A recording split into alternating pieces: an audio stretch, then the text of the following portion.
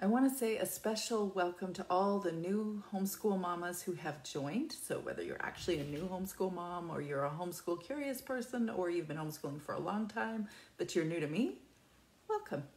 I've got a few special things for you. You can always find in the Linktree if you're on Instagram or in the guides if you're on Facebook, or you could just message me through anywhere on my website, capturingthecharmedlife.com.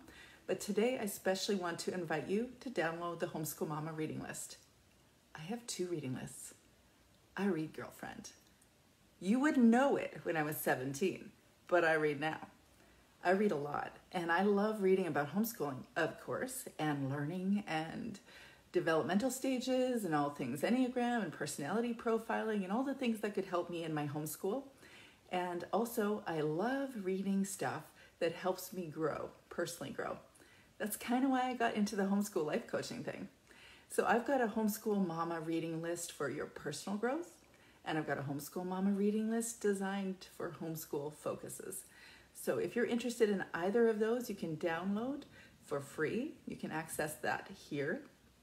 Also, I want to remind you that not only do I have a homeschool mama reading list, but I got a homeschool mama book club to go along with that. It is just a $5 American dollar um, uh, for a book club. So you can access that through the link. There'll be a link somewhere, wherever this video is, you'll see the link there. And it's a virtual group that we get to connect with all across the country, all across the world. So I'm in Canada. Most likely you're in the US, unless you're the occasional people that are in Canada. Let's see. Australia, New Zealand, Pakistan. Can you give me a name of a country that you're in? Because I'd love to hear where you're at. But I want to welcome you because for whatever reason you have found me, I am so glad you're here.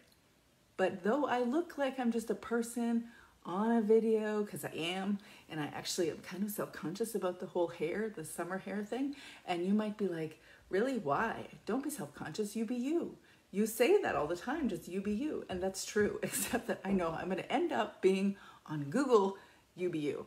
And here I will be for a few years, probably. We'll see. So, right now, I want to say to you, this is me. I'm going to do me. But I want to also let you know that I'm a real person. I'm a real homeschool mama of four kids that are now age 13 to 21. I'm really just homeschooling one kiddo right now. And I want to hear about you how you got into homeschooling, what your homeschooling vision is.